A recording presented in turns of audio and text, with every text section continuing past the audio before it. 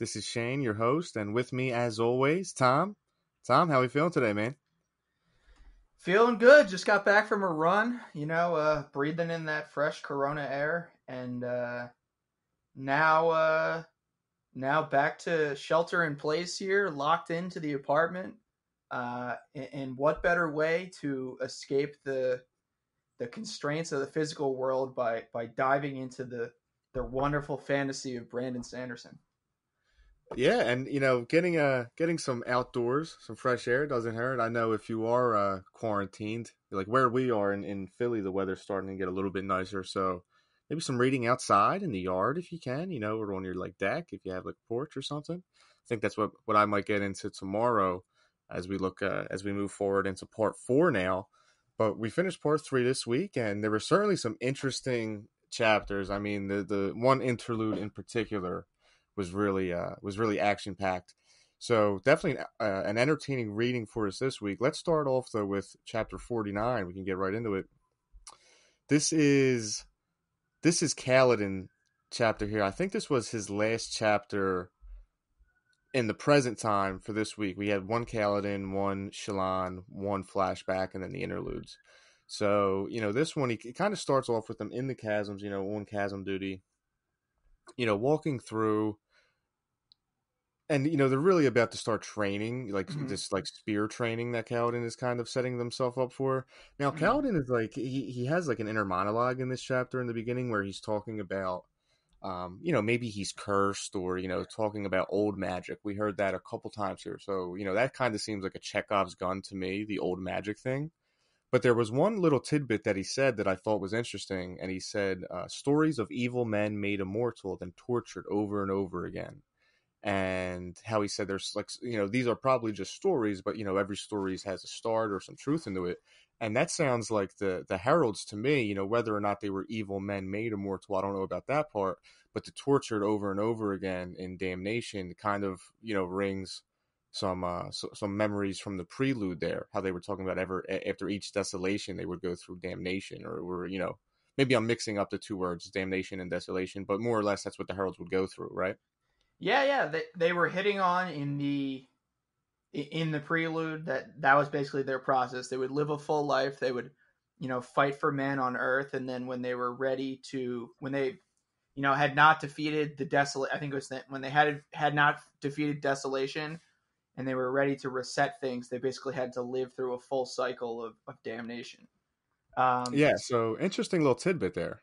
Yeah, yeah, and, and, yeah, and certainly a story from the past, but I think we're led to believe, and, and, and I'm sure we'll get a, like similar to his Dark Materials, where a lot of these kind of like fantastical elements and angels and demons and things like that kind of uh, blended in and, and, and melded in as we got into the later books in the series, I think we'll probably see a lot of these these stories and, and the, you know these tall tales and a lot of these things um, translated into reality and, and brought to the, the present moment.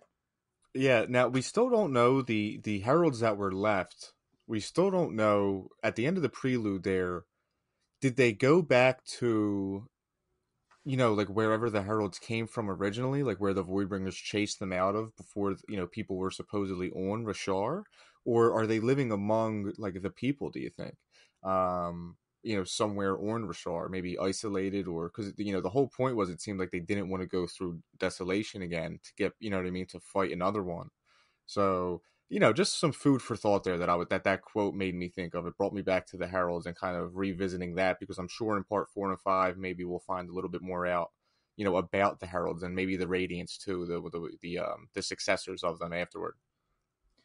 Yeah, definitely, definitely a good connection. Yeah, so you know, as the chapter moves on here, Kaladin, you know, is teaching the men, being like the drill sergeant, and you know he doesn't I, I you know he mentions typically in, in training you know you got to beat the men down to bring them back up.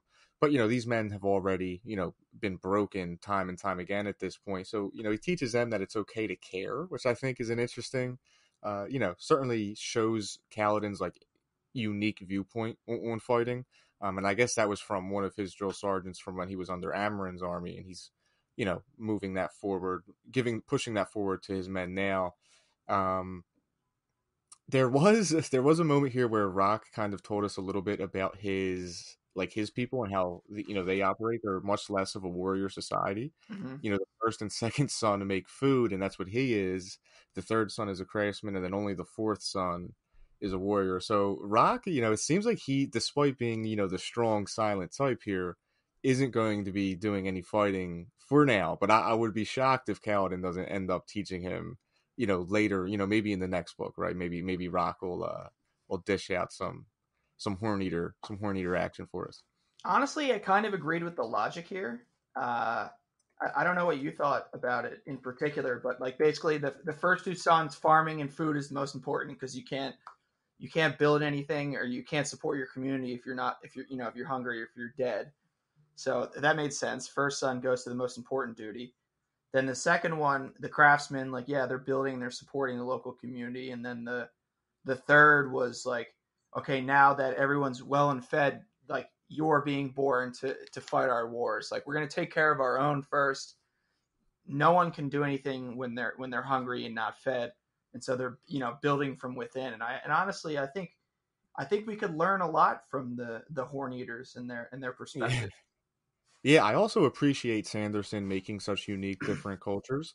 Um, compared like compared to the Alethi, right? So much, you know, way less emphasis on competition and battle. But I was also thinking too, you know, I, I I'm not sure where where exactly on the Roshar map that Rock and his people hail from, but I know that they mentioned mountains. Like he came down from the mountains to try to find the shard blade for his, um, you know, his lord.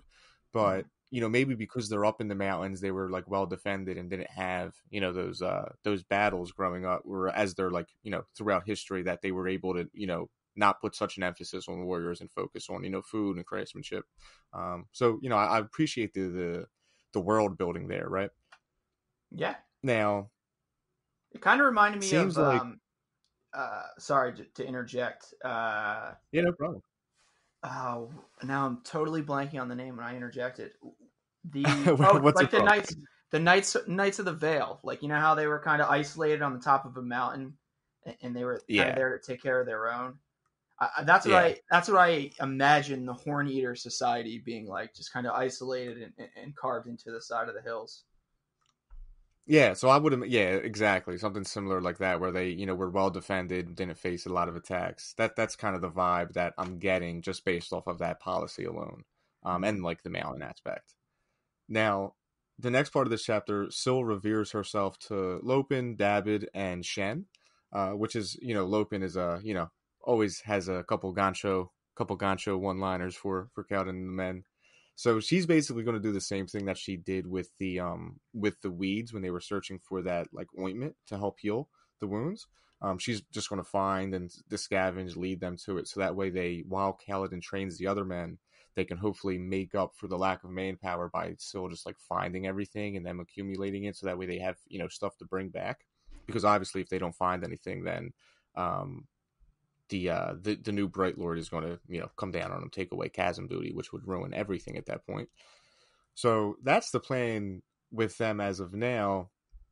In with with Kaladin's training though the the key takeaway i had was moash drehy and scar were doing the best and i was wondering you know if there's about 30 to 40 men in the bridge crew you know maybe they would be like the new sub squad leaders like similar to how Dallet was kind of like second in command um, in the in the beginning in chapter one. You know, maybe Moash, Dre, and Scar are going to become like the sub squad leaders.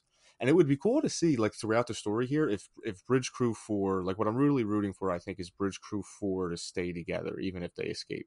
And like you know, that's kind of Kaladin's new unit, but they don't answer to the Alethi, or they don't, you know what I mean? Like kind of like under their own accord, but they stay together as a uh, like as a, a, force there. A crew of bandits, R- Robin Hood and exactly and uh, whatever his people are called. I am terrible yeah. with names.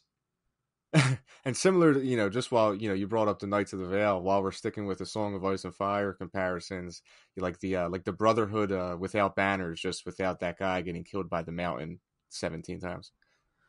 Yeah, the other so. thing to the other thing to note, and not to be morbid, is that basically every time Kaladin has a troop, and every time he has people around him, and he kind of makes note of this, like everyone ends up dying, uh, but yeah. him. So we could see a pretty bloody and brutal escape attempt here. Um, I know. But hopefully, hopefully, like uh, all I pretty much care about is if our boy Rock makes it through. Rock and Teft. That's that's the uh that's the OG Yeah. triumphant right there. Yeah, when we're learning more about Teft, right, he kind of gave away in this chapter that he used to be in the army, um, was definitely like a drill sergeant of some kind, uh, you know, led the men in, you know, and kind of getting set up there with the different drills. So kind of like the second in command, like lieutenant, I guess you could say, first mate, perhaps is another another term we could use. That Teft is uh, kind of grown into. Now we can talk about this when we finish part three, the uh, the recap here, but you know, Moash, Strehi, Scar, Lopen, Dabbid, Rock Teft. You know, I would imagine during this escape that some of these, you know, secondary characters that we're starting to become attached to aren't going to make it. So that's Mhm. definitely going to, you know, be gut wrenching. Uh, you know, if if it does come to that point. Very true. Very true. Yeah. Now, one thing though that's on their side is at the end of this chapter, Kaladin makes a good point that you know by beating them down, Sa- Sadeas prepared them to excel. So you know this is like the most battle-ready, hardened group that Kaladin has maybe ever fought with, and you know because you know when he was with under King Am or uh, Bright Lord Amaram, he he basically had the grunt of each litter and just like brought them up to fight as a unit. Um, so interesting to see like the opposite spectrum now, right? He's getting some hardened men that once he teaches them how to use the spear, like they're not going to, you know, be scared or, um, you know, kind of go through that learning process that he was maybe, you know, going through when training other men.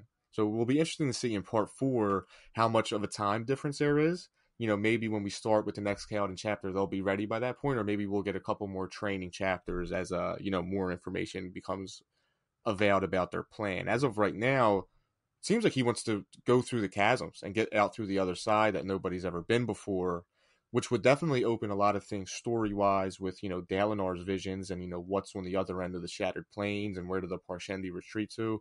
You know, maybe Kaladin is who who finds that. But, you know, that's maybe getting a little bit ahead of ourselves here. We can talk about that once we finish once we finish the recap. Um Yeah, I'm not Now- really sure where it's going. yeah, I'm not I sure. think 'cause you're right. I think- I think he's I think he's like kind of staring off into the distance, uh, and you know, like longingly looking at the the east coast of the chasms here. But Yeah. uh, so, so that would be my guess, just based on some like normal foreshadowing. But I I really don't know what the plan is. I was thinking too. Well, you know, while we're here, we might as well talk about it. I was thinking, you know, how he like rode the high storm, and you know, the last time that there was one, and he dreamt through it. Right. Maybe the next one, it'll show him a different path. Like maybe the next high storm path will show him a way through the chasms, and, and you know that might be what happens. Um, because you know, without any other sort of help, it seems like wandering aimlessly through there.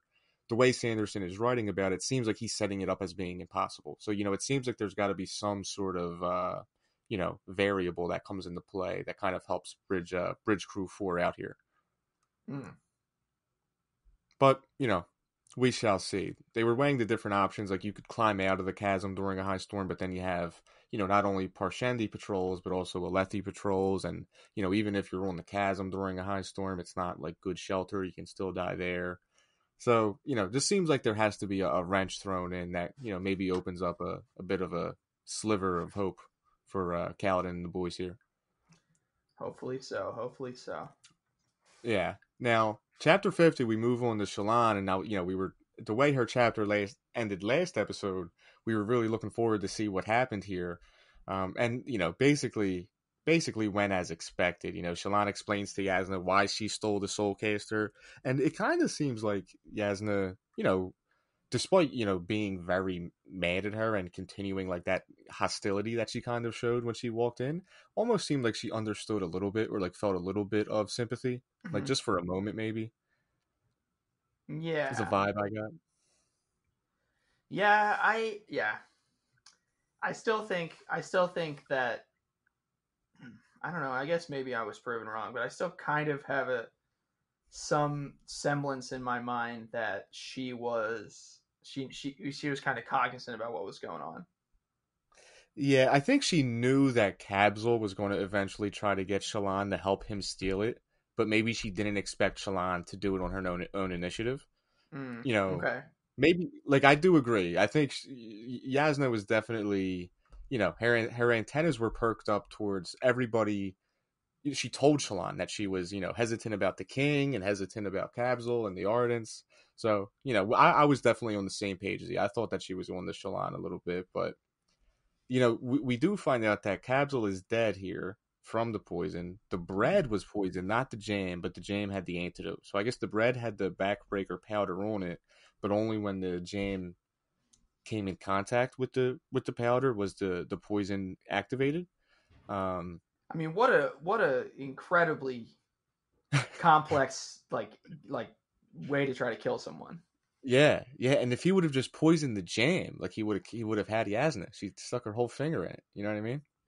And also, like, she, she doesn't even like jam. Oh, I get. Oh, that's the point, right? She doesn't like jam, so she would she would only eat the bread. Yeah, I, I, what what the? f- There, there's no there's no better way to try to poison someone than to than to go through this like yeah, it's like two step bread process that you're just building over years. I mean, I, it's Yeah. smart, but just just seems like a lot.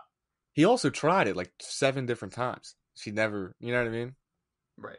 Now I was like so certain that something else was going on. Like I was trying to play detective during reading that chapter. Um, did not expect the whole like two two phase poison jam having the antidote type type deal that we had going on there. And you know, I feel like this. You know, I don't think Sanderson is going to write the book in the way that he's like lying to us about what happened. But, I just, I don't know. It didn't. I, I that the whole the way that Yasna explained it didn't click for me while I was reading it. Maybe because I was trying to overthink and look for other clues. And the finger in the jam, I think I was just a little bit, a little bit too hung up on. But for now, I'm going to accept what was written on the page there by Yasna. Um, so yeah, I'm going to accept that. And then as Yasna is leaving, Shallan like reach like calls her name out, like trying to apologize, and she you know doesn't look back and keeps walking, and that's the last that we see of Shallan uh, in part four or in part three. I mean, so now like what do you what do you think is going to happen with her? Do you think she's able to go back home now? She doesn't have the soul caster, you know, she doesn't have the um the apprenticeship now. Like she she's basically coming back really empty handed. I wonder if her character like just completely gives up at this point and goes on her own just because she doesn't want to face failure with her family. Like that's kind of what I was thinking if she would just avoid home altogether at this point. Uh, well, I may have read this wrong, uh, and you know that's always a uh, a distinct possibility. But I believe our last interlude took place in uh, Shallan's homeland. Jo- Oh, right, from Yaqavet. Jaqavat, right? Yeah. Yeah. So, are we sure that like her entire home life, like honor guard, like brothers and everyone, isn't just completely decimated and killed at this point after after that interlude? I mean, not to Well, not to skip ahead. I think she might be going home to nothing. Yeah, well, we know that that Szeth killed a couple High Lords in Jah Keved before he killed the king. Whether or not, though, that was Shallan's family, I don't know. Because think about it like this: her father was the Lord, right? He died, but they haven't told anybody yet. So, like, technically, I guess one of her brothers would inherit it. Whoever the eldest, bro- like whoever the older sibling was, would would uh, inherit it but because they were kind of keeping the roost up that the dad was alive, you know, I don't know. Either way, though, that's a good point that I hadn't considered when she goes back to Jah Keved, wherever her like estate is in in in Jah Keved. Mm-hmm. You know, it's a completely different political landscape to the point where maybe like they don't even have to worry anymore because people are so concerned with the king dying that nobody's going. to You know what I mean? People might stop paying attention to her family now, or maybe it'll buy them some time. That's a good point. I don't understand. You know, there's certainly going to be implications of that that uh, I guess we'll have to wait and see. Yeah, I think it's just like barren wasteland. Like Szeth just fucking laid waste Yeah. to everything. Yeah, like I don't know at this point. Like I think I forget how many high, how many lords, and then besides the king and Jah Keved, he was sent to kill. But he might have just up, he might have just upended like the entire succession chain, perhaps. Um, but we can we can talk more about that when we get when we get there. Let's let's first go to chapter 51 and this is this was a crazy flashback that you know I guess I should have anticipated something happening with the shard blade that Kaladin had won. I kind of assumed that Amren was going to end up with it, but I didn't. In no way did I expect it to to happen like this. Um, Amren has Kaladin and his men in his office, um, and he asks him why he, you know, denies the blade. And I feel like Kaladin, almost in like defiance, decides not to explain himself, decides not to really dive into why he you know gave up the blade or didn't want it. He didn't want to explain you know the fact that you know the sword like just made him think about all his like dead comrades and you know everything like that. And at that point you know Amaram kind of steps away and motions for his men to move. And the next thing Kaladin knows you know he's being held down and his men are being you know slaughtered by by their own superiors. Um you know Amaram spares Kaladin for saving his life but gives him the slave brand which makes sense to before when he said the man who gave me the brand even thanked me for killing the guy that I killed. Like all of that's you know all of that now in hindsight makes makes sense, and all those those pieces of that puzzle fit together. Um, you know, I was trying to think of why Amaram would do this. You know, obviously a shard blade would make him more powerful, both like politically and on the battlefield. I was thinking politically in the sense of like it seems like if you have a shard blade, you're kind of considered a higher lord than those that don't. But like, is he going to use it to like unite Alethkar and these like petty border wars, or is he just going to kind of use it for his own gain? Like, he could maybe make a power play here now that you know the king and um Dalinar and Adolin are away on the Shattered Plains. You know, Amron might be the most powerful guy still in Alethkar, right?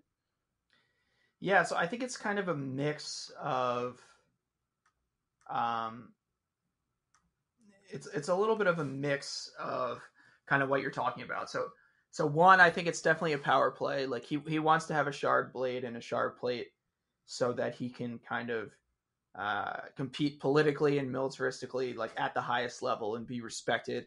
Because they were mentioning that like even if you weren't in a certain social class before, the second you get a shard blade, like you're yeah. immediately in X social class. Uh, so, so I think that's part of it, and I think the other part of it is basically this, uh, you know, this disparity between like what the the stories are and what the tales are, and, and what reality is, where you're led to believe that, yeah, if you kill a shard bearer, that uh, you you yourself become a shard bearer and you can climb the social ladder. But in in in reality, like I'm sure there's a lot more situations where this like this where you know soldiers are out there, uh, like random soldiers are out there like potentially killing shard bearers every once in a while, and then if they do this, like there's either people of higher classes or, or other people kind of trying to assassinate them to to take that that power away from them. Uh, eh, yeah, so I think for him it was mostly a power play, but I think this might be a little more regular than than maybe you're thinking. I, and I think Amaram's a dick. I don't I don't think he's doing anything here yeah. to not be not be a dick. Yeah. And you know, kind of you know, you can see the kind of betrayal with Kaladin there when he thinks, you know, like you're supposed to be one that's better than the rest, right? You put on this ruse for the men that you care and you know this and that and it goes back to you know the chapter where he saw Adolin like kind of saving that um that sex worker where you know still kind of ask him like why do you hate them so much? Like now that we're getting you know the, the povs for Kaladin seem to have been the flashbacks i mean seem to have been caught up you can kind of understand um you know how between Roshone and Amaram and you know now Sadeas like why he hates uh you know light eyes as as as much as he does.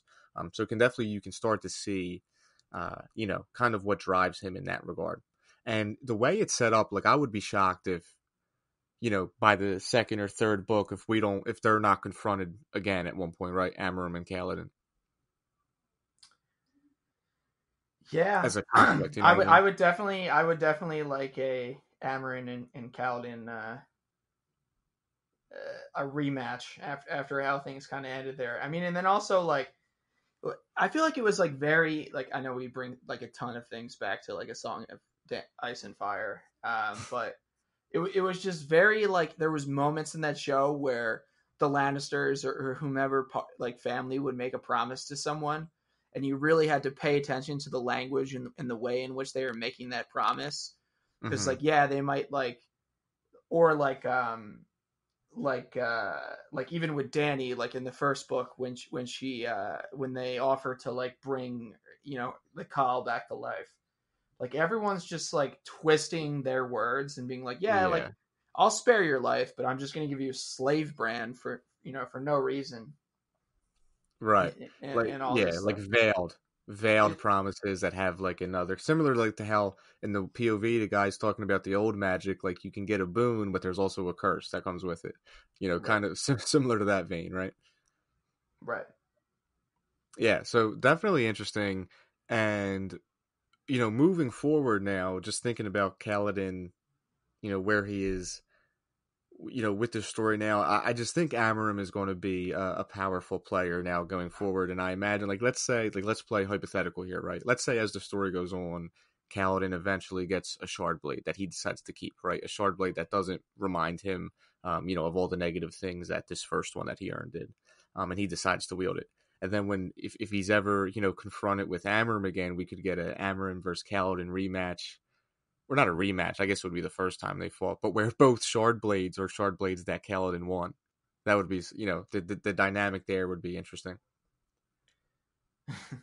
he's just he's just double uh double wielding Yeah, like and by the end then he, kill, he kills him and by the he end he's just uh, he just has like eight sharp blades and he's just yeah, he just the, the them. general grievous of uh shard blades Yeah, exactly, exactly. Grow a couple more limbs, be able to wield them. That would be something. Uh, you know, I'm not going to. I don't think Kaladin can do that, but based off the Szeth interlude, I'm not ready to say that he can't do anything. I think Szeth. All, all doors are open for Szeth to be able to wield, you know, as many shard blades as he wants. I think, based off of that last interlude. yeah he doesn't But- even he doesn't even need sharp blades he's like yeah, Yeah, i'm just gonna put this away this is exhausting know? before we get there, though, before we get there, let's do Baxil's um, interlude. So Baxel and Av are helping a mistress. Now I went through and I couldn't find the mistress's name, so I don't think we're supposed like, like maybe the mistress doesn't matter, or maybe we're not supposed to know her name right now. right But Baxil and Av help her break in the rich people's houses, and she just breaks art, but they don't steal anything. She just wants to break the art, which is, you know, a super interesting dynamic. At Baxil, at one point in the chapter, ask why that why they do this, and you know, Av doesn't answer him. But I am very curious what what her deal is with with breaking the art, like what the motive is behind that. Um, yeah, don't know, don't know. But I think the main takeaway from this chapter is really the old magic thing, right? Av explains how the Night Watcher, which you know I guess is connected to the old magic. I don't know if the old magic is like an umbrella term for a number of things, or just this one spot where the Night Watcher is. And you know, you ask for a boon, the Night Watcher will give you what she feels you deserve, and a curse to go along with it. Um, as Av said, sometimes related to the boon, sometimes not. Um, the one example he gave, I think, was you know some his father needed to you know make needed like food or you know supplies for his family and the the curse he got was that he saw everything upside down from that point on so between that and then you know Kaladin mentioning old magic a couple chapters beforehand seems like a Chekhov's gun to me right? Like eventually old magic is going to come into play here. Um not sure what it's setting up exactly but definitely something there something to keep an eye on i, I would suppose right?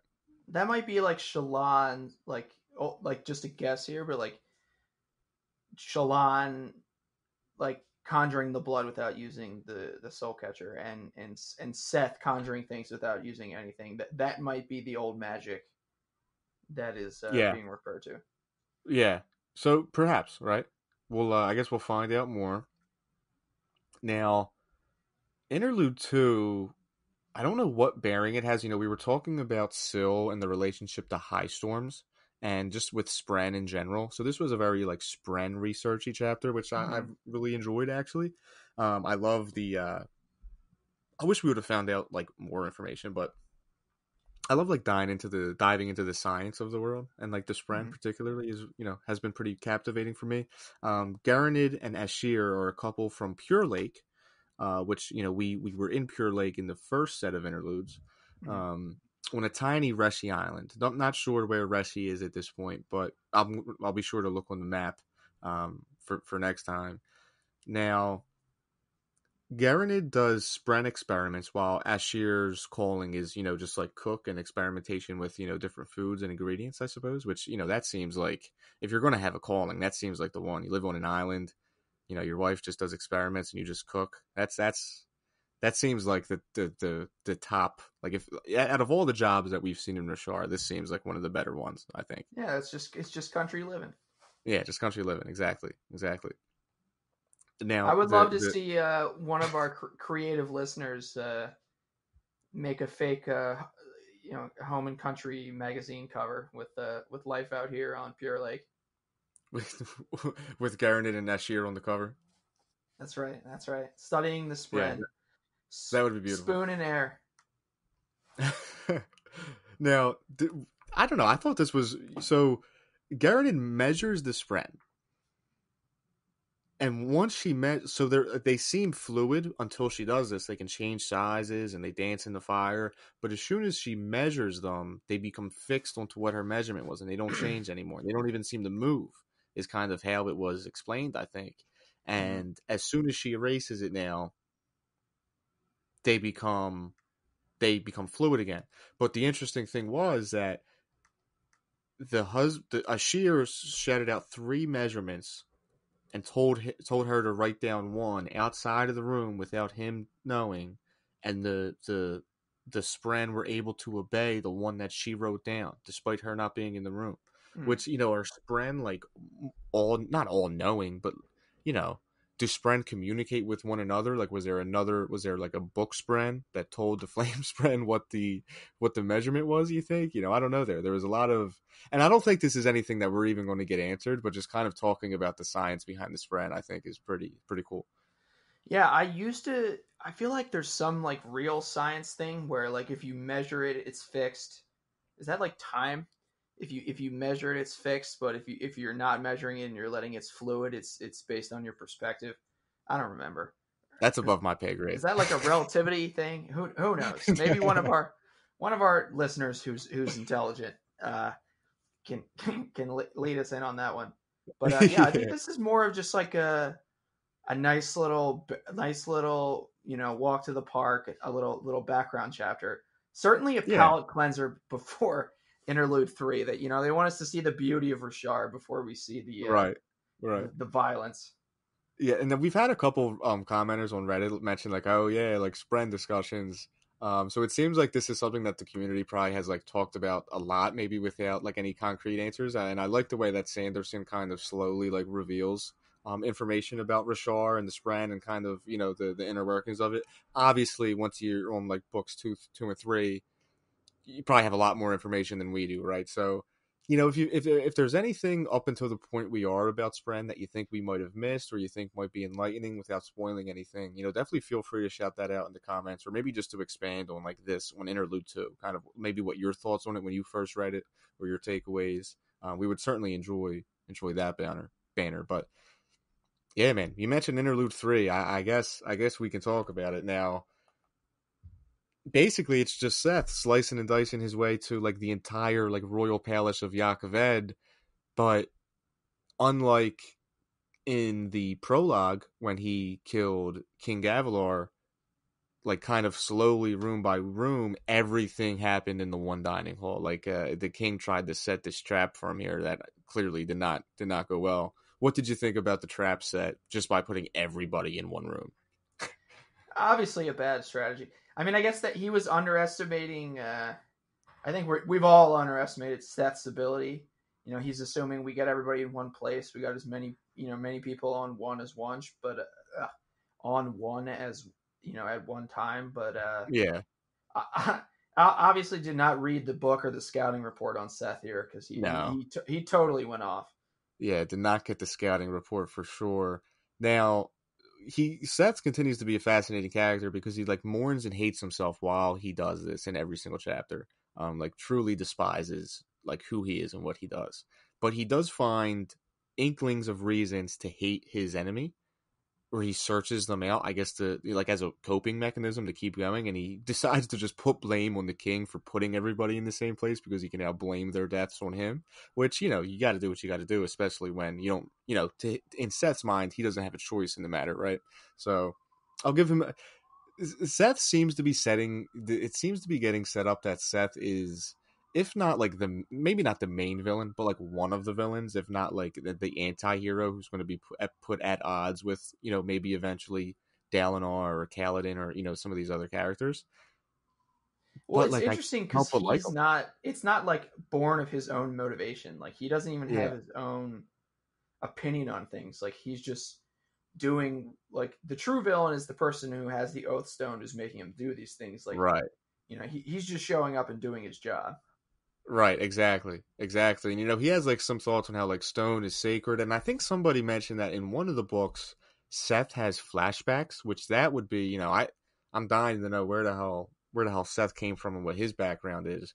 But yeah, you're right. Whoever has the Oathstone is the true villain, but you know, he's kind of like the um you know, if he were to ever get free will or if somebody else would ever get the Oathstone, like he's kind of the, you know, the sword and they were kind of like you know the puppeteer and the puppet i guess kind of you could say um but like i can't help but but like him in this scenario and i feel like eventually szeth is going to be ordered to do something that's going to make me not like him you know what i mean against a character that we kind of like and i kind of feel sanderson setting this up slowly you know right now he's killing people that kind of have no no bearing on us or any of the characters that we've become attached to but i'm just mm-hmm. kind of waiting for sanderson and you know who the character who has his oath stone to kind of unleash him on on the rest of on the rest of our characters here and that makes me very very nervous. Uh certainly in the cards from what we've seen. I mean he, yeah. he is a destroyer of worlds in this chapter. Yeah. Now he's facing in this chapter three shard bearers right? Two of whom are wearing shard plate the other one being the king. And you're right at the one point he drops the shard blade kind of it's so he, like he does a lashing where it seems like only a portion of his body weight is affected by gravity and the other portion is being kind of lifted in the opposite direction. Yeah, so like it makes quarter lashing. Lighter. What was that? He's like he's like a some sort of mathematician. Like he's he's like, all right, I'm gonna do a three eighths lashing here so I can yeah bend in such a way. Yeah, and I was trying to like I know the basic lashing, like ah, this is just a basic lashing, and meanwhile, like somebody's getting like a table flipped on top of them like getting thrown through a wall. Just a basic lashing there. Outrageous. yeah, so I really I do appreciate the like the, the, the detail and the work that Sanderson puts into explaining that. Um, and you know, it, it, like I don't know, I can't help but think about Szeth flashbacks and like him learning how to lash. Um, that would be you know definitely something I'm anticipating later on in the series, but he does I, you know i don't know if this was like he was sucking in stormlight not only to like heal himself or like not heal himself but maintain his energy um and his power because it seemed like similar to how Kaladin could just kind of move guys off balance without having a spear in his hand. He was just like tipping guys over and tossing them one way or another with lashes you know this way and that.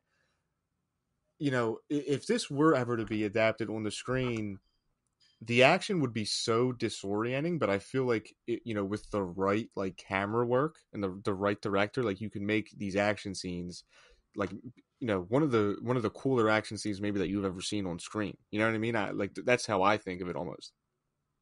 Yeah yeah definitely i mean just like the the change of angles like the change of it, it'd be very like uh matrix slash uh Oh, oh my god. Yeah. What's the Matrix what's the fucking uh, what's Inception? The, Inception, yes. Matrix. Yeah, like if Matrix like, Inception. But like on drugs, like to the next level, yeah. like uber violent. Yeah, ramped up. I agree 100%. And I feel like it would be hard on screen to explain the lashings. Like we get it to a basic understanding. He's just kind of making the, you know, whatever the wall is kind of like the center of gravity so they get sucked to that point more or less you know, changing, you know, up and down. But a lot of Szeth is inner monologue, so he would be a really hard character, I think, to to put on screen. Um, it would definitely take a creative director uh, and screenplay to kind of get the character of Szeth right. I think because without that inner monologue, it would be really hard. But man, that those action scenes would would be worth it. And you know, sh- shout out to Sanderson for putting it on page in a way that you know is clear and concise and that like you can kind of follow. The point when they were both on the table and he flips the table up so that he stays on the table but the guy gets sent from it like that was outrageous. Um and you know eventually he kills the two shard bearers in the shard plate and he has the king there you know on, like you know basically execution style and he, and he asks you know who are you? And szeth simply you know responds death. Um so that was you know, I thought the, the, the prologue was Szeth's coming out party, but this, you know, maybe seems like Szeth's coming out party now. Yeah, I mean, Sanderson was Shallan here and, and just painted the picture for us. It, it was it was incredible. Yeah, so Szeth's a bad, bad man. Bad man, that like the Punisher of Roshar is kind of the vibe I'm getting. Um, now, let's think about this for a second, right? I have some thoughts on Shallan before we move on to the epigraphs. But while we're on Szeth, you know, he, he just took out all these High Lords. He just took out the King of Jah Keved. You have a, Alethkar where you have Amaram in the homeland, who's probably the most powerful, and everybody else, including Navani, who was kind of supposed to be helping Elhokar's wife back in Alethkar, you know, they're all in the Shattered Plains. So, you know, I, whoever has Szeth's Oathstone seems like they're definitely trying to just cause as much chaos and mayhem as possible. And I can't help but wonder, you know, part I think this ne- these next group of chapters that we have here, we have Dalinar, Kaladin, Adolin, and Navani are all the POVs. Now, I think they're all in the Shattered Plane, so I don't know how much information we're going to have from direct sources on like what's happening in Jah Keved and Alethkar.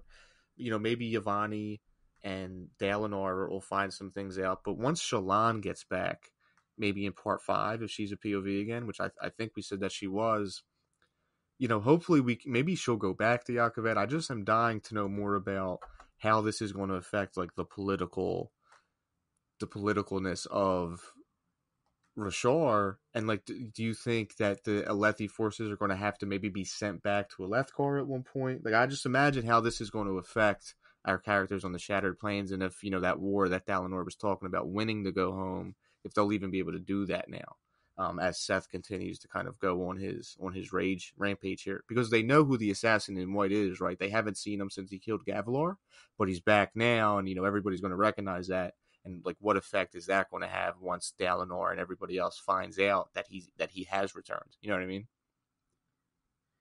Yeah, that was a I, lot to, to, to no, no, break no, no. down. I, I, uh, I feel like Kaladin's arc is, is like pretty straightforward. He's trying to lead them towards an escape.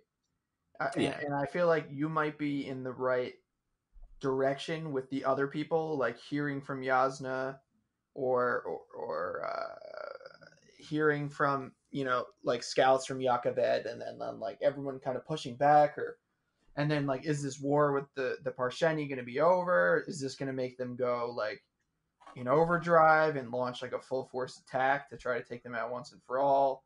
I think we'll have a lot of battle here, but I don't know exactly where things are going. Yeah, no, I agree. I agree. So, and I don't think we can really you know, I, I, think next episode we'll be able to do a lot more discussion and analysis and like in terms of looking forward because I feel like at the end of each part we kind of have what information we have, but then the beginning of each part that's when like answer or uh, questions are posed and then we can start speculating. So you know, definitely our next episode I think is going to have a lot more of that. But the other one I just wanted us to kind of think about and you know keep in mind as we go into part three. You know, the demons that were with Shallan now that the Soulcaster's gone she didn't mention in that chapter whether or not they were still there. So I'm curious to see once eh, once we get to part five if if those demons will still be with Shallan and you know kind of how that will continue to evolve because you know and it you know Sanderson saves it for the end of the part when we no longer have her her POVs but you know that's when I that's like the most thing I'm interested in with Shallan not only what she does in terms of with her family now but like you know the demons that you know she can see through her drawings and whether or not they're still with her yeah, look at you. Look at you becoming a Shallan head. Yeah, I know. Who'd have thought? Who'd have thought? Paul Rudd voice. Look at us. Look at us. We made it. Now, shall we do the epigraphs for uh for those chapters before we get into some Reddit comments and uh finish up? Sure. Okay. What did we do? 49? 49, 50. 50, and 51. Yeah, so 51 didn't have one, so it's just 49 and 50 for this week. Um, the first one is for 49 Radiant of Birthplace. The announcer comes to come announce the birthplace of Radiance. Uh, the note for this one is though I am not overly fond of the Ketek poetic form as a means of conveying information, this one by Alan is often quoted in reference to Urithiru. I believe some mistook the home of the Radiance for their birthplace. So yeah, this is in poem form, you know, kind of hard to understand, but the connection between the Radiance and Urithiru again is mentioned, and this is, you know, the third or fourth time now that, you know, whenever in the story we find Urithiru, I think we'll find out more about the Radiance. Where once we find out more about the Radiance, we'll find out more about Urithiru. right? They're connected in one way or the other. Did you have Right. any other thoughts on that one? Well, that's like I feel like that's basically the the Yeah, yeah. Very, very straightforward. Very straightforward. Yeah, And in that, remember when when Dalinar had that flashback when he was like fighting those those like uh, xenomorph looking black monsters? hmm They said that if you know if you want to train to become the Radiants, come to Urithiru. So you know, I, eventually, I imagine we said this a couple episodes in a row. I feel like, but you know, that'll come into it eventually. And I like the uh the slow building process to it. Oh yeah, I, I be- love nothing more than returning to a lost city. yeah. That's you know, that's you want to get my gears greased. Throw a lost city in the mix. Oh yeah. we're we're in there now. Flame and char, skin so terrible, eyes like pits of blackness. A quote from Iviad probably needs no reference notation, but this comes from line 42. Should I need to locate it quickly? Again, I think they're just, just like I think it's just Jasnah's notes describing, you know, monsters or void bringers or you know these things of ancient, ancient issues, ancient uh, battles. Um, Yeah, just different accounts of the same thing. I think the epigraphs in this section in general are pretty straightforward and don't really tie together beyond that. Like they're not like one full. Yeah, yeah. Now there was like like in these epigraphs there was something about a dawn shard that I, I I think there was something regarding a dawn in the in the prelude like a dawn bearer or something something along those lines that that made me think of that. But until we actually see it in action, like it's cool that Jasnah is kind of like her notes here are very like Indiana Jones ish. Like the way she's kind of collecting notes and like thinking through these ancient things. That's like a you know I don't know why Indiana Jones is the vibe I get, but it is. Um, but once we like actually find more about it, it'll be interesting to come back to her notes in these epigraphs and kind of see, um, see like how close the the the the written accounts were compared to like when we first see a Voidbringer in the story. You know what I mean? So that'll be a cool little comparison. Um, shout out to Fixer for posting uh, the epigraphs throughout the weeks here, man. We really appreciate that. It, you know makes my job a little bit easier. Um, so really appreciate that. If you want to keep doing it for part four, um, you know, feel free, man. I certainly won't certainly won't complain. Let's uh let's look through some of our some of our comments here from the last Reddit episode. We have Kesar Consumer. Apologize if I pronounced if I pronounced that wrong. Um, but you said you know, you said if we end up doing Dune after Stormlight Archive, you know, you would love to pick that up and read it along with us for the first time. Um, and you know, thanks for putting out the content. It really keeps me from being bored while being isolated in the house. You know, I you know definitely really appreciate that. And you know, the whole idea was with the podcast not only for people who have already read a series to revisit and like see us go through it the first time, but you know, eventually to build up a large enough audience to where like we can all go into different books and series together. Maybe some of us has read them, maybe some of us haven't. Um, but like kind of going it through it, you know, that read along process, everyone for the first time. Um, so definitely, man, hang around. You know, I think you know, not sure when we'll do Dune. If we'll finish Stormlight before we do that, me and Tom can certainly talk about that. But Dune is on the list on the radar. So whenever we do get around to it, if anybody who's you know listening to this pod or l- listen to our His Dark Materials pod, um, you know, we can go through uh, some new series here together. So and as we do each series, I think we build an audience um, each time. So as we continue to go forward, you know, we'll have larger and larger groups to you know read through books together. Um, so that'll be really fun. And, you know, Mhm. eventually I think the payoff and, and the, the community that we can build will, will really, you know, really be worth it. Um, what else do we have here? I was just gonna say, just on that, anyone who's like really, really enjoying the pod, we you know we love your comments, we we love your questions and everything, but but feel free to also, um, especially as we're kind of you know maybe this is the last two or three weeks, two, three, four weeks with this book.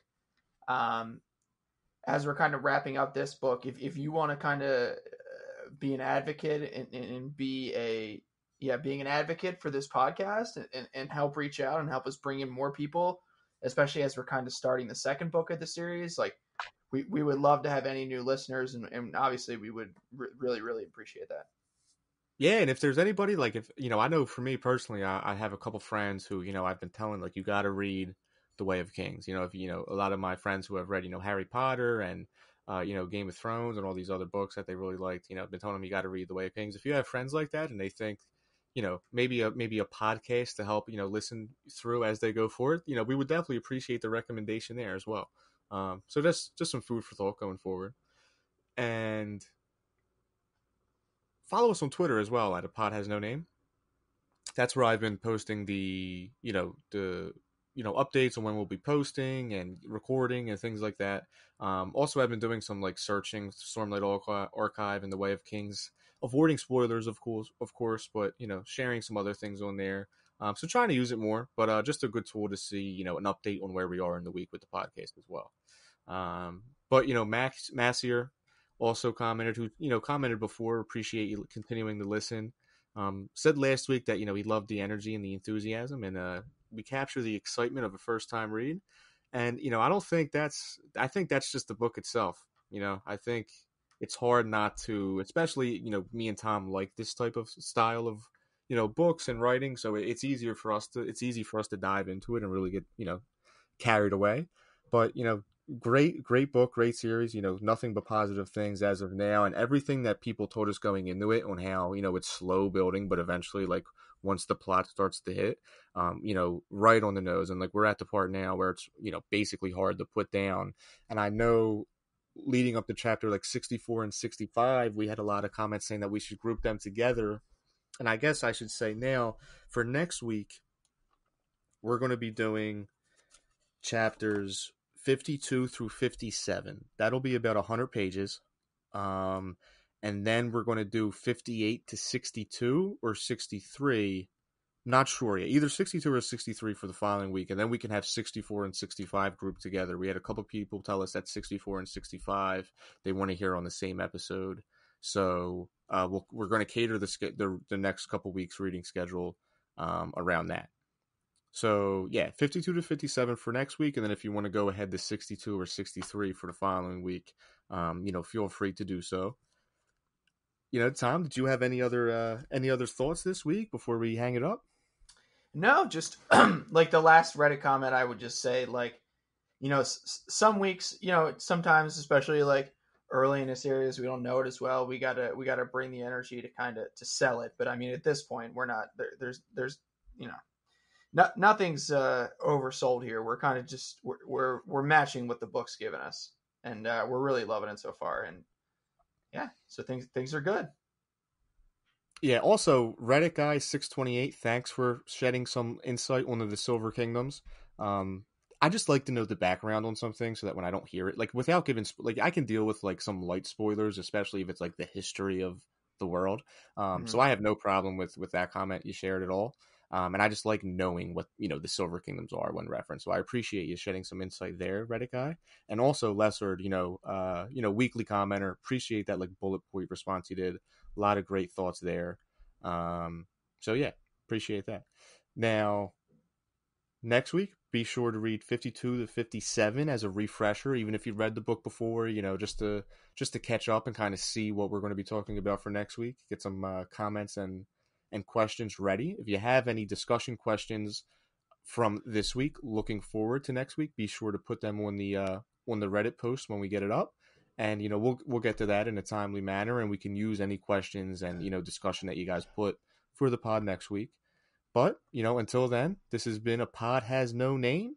Signing off. Stay safe. Flatten that curve. Flatten the curve.